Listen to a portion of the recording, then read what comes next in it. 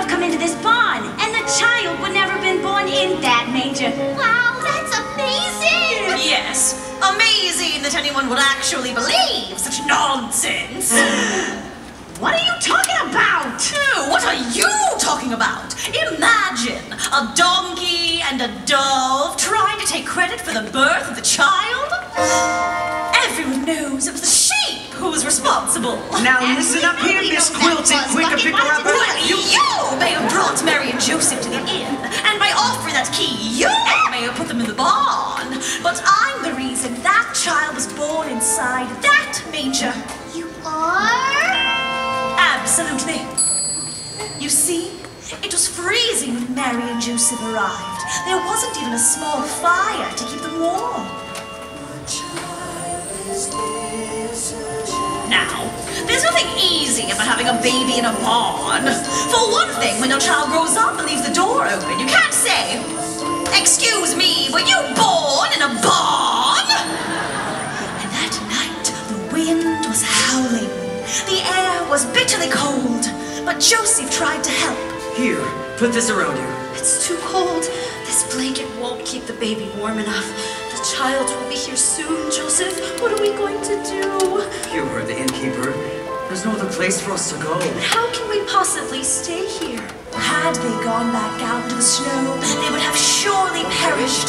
That's why I, the sheep, came over and saved Mary and the baby. This wool, it's so soft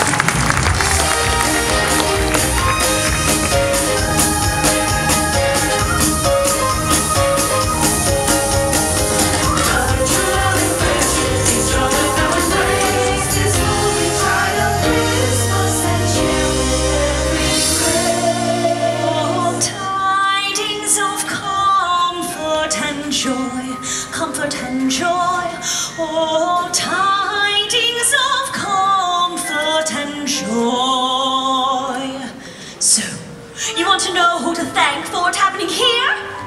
That's right, me! Think about that the next time you're ordering lamb chops! Wow, I can't believe it! You really are the reason the child was born in this manger! Oh, please! Mary and Joseph wouldn't have even come into this barn if it wasn't for me! So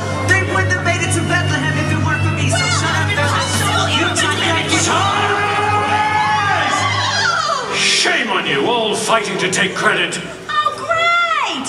Now we're gonna find out it was a camel who saved the child. Quiet. None of you did anything by yourselves. You all three helped. That is why you are all three important. Hey, he's right. We shouldn't be trying to take credit like this. After all, you're important, and you're important, and me. I am the most important. I'm gonna get the In case you didn't notice, there were others here that night who also welcomed the child. That's right.